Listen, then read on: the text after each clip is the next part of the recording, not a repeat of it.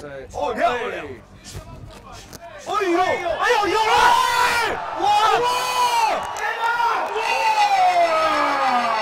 马拉特在半决赛的力量没有发出，完全在决赛里面迸发出来。觉得诸神之战连续四年了，没有一个人能卫冕成功。哇，马拉特连续三拳，以第二拳的时候，第二拳的时候眼神已经是完全失掉了精神呐。